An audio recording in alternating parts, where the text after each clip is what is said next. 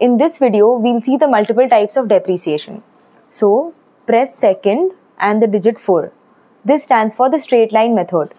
Second, enter. This stands for the sum of years digits method. Second, enter. This is the declining balance method. Again, second, enter. This is the declining balance method with crossover. This is the straight line method French. This is the declining balance method French and back to the straight line method. Now we won't be requiring these multiple types of depreciation in our calculation.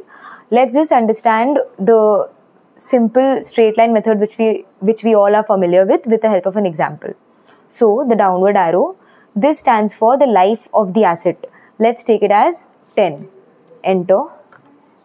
This tells us the month in which we start putting the asset for use uh, suppose we can start using the asset from the fifth month after the purchase but to keep it easy let's take it as 1 in this example. Now this is the cost of the asset. Let's take it as 100 enter. This tells us the salvage value. Let's take it as 10 enter.